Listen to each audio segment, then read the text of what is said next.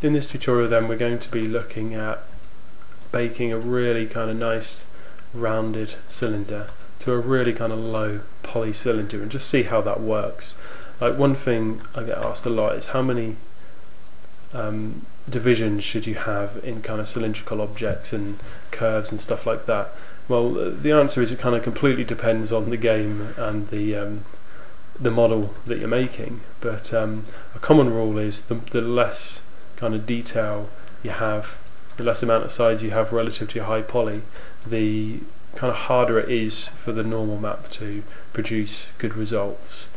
So this is definitely very extreme what we're, what we're trying to do here. Now you notice based off the last lesson I already have the control edges around the edge to control that um, where the rays are firing from and I already have the smoothing group set on the end of each of the cylinder.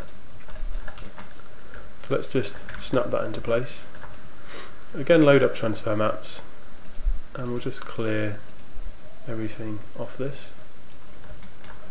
And I'm just going to rename this for some, something sensible. Low poly like that. Okay, so we'll add low poly in here and we'll add high poly into here. And exactly the same process as usual, just normal.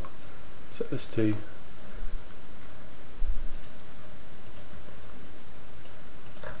call this TA low N.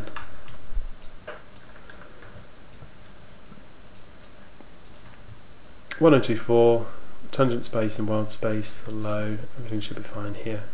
And delete envelopes on bake. Okay, so let's just try that out. It's not normally worth rushing these settings to be honest, because when you leave one thing out there will be something wrong.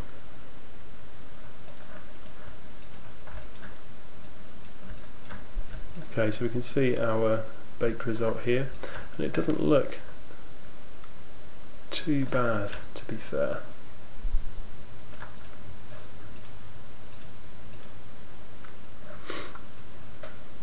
So you can see we're getting a bit of waviness on the ends here. Uh, but other than that, these have come out pretty nicely. So you can see you can be very kind of extreme with this, but typically you wouldn't achieve such a nice result with that. And you can see that this isn't really a great portrayal of this model anyway. Even though the normal map's kind of doing its job, it's just not got the silhouette to cope with what this model is trying to portray. So there's two kind of issues here. The first one is will your normal map bake, bake correctly and often it wouldn't normally work. Like we're getting a few errors around here. And the second thing is does it actually represent the model that you're trying to make and in this case I would say this is probably a bit too low detail to really represent it.